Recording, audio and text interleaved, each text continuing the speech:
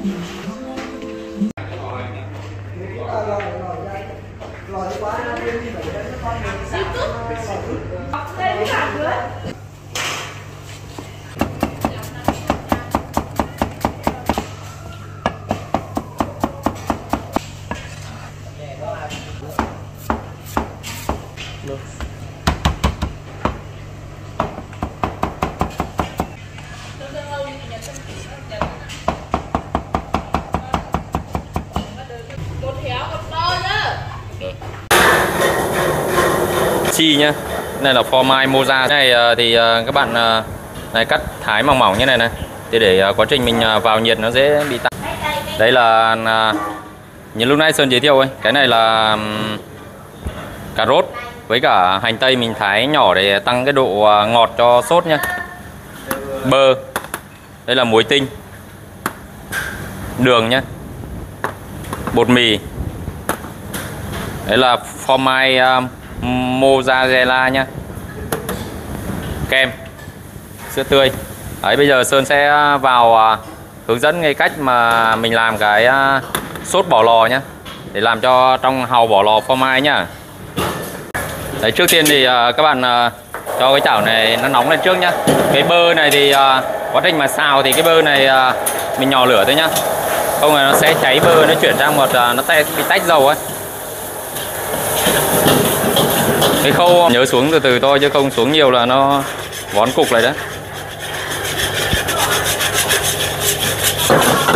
Quá trình à, sau khi xuống bột mì rồi thì mình lại tiếp tục nhỏ lửa.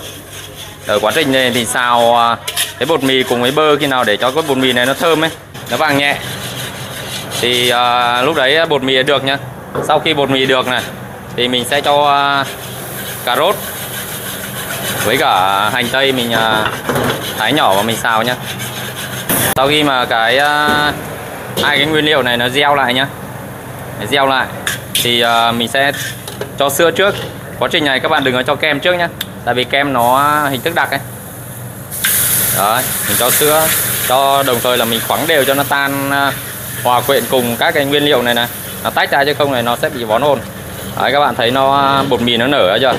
Bột mì nó nở, nó đặc này đó. sau khi uh, cho hết sữa tươi và đánh được đều này không còn bón cùng nữa thì mình tiếp tục cho quá trình này thì uh, sau khi cho hết các nguyên liệu thì các bạn còn uh, tiếp tục cho muối nhá.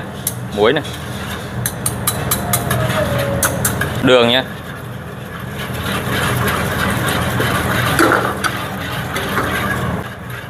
Phô mai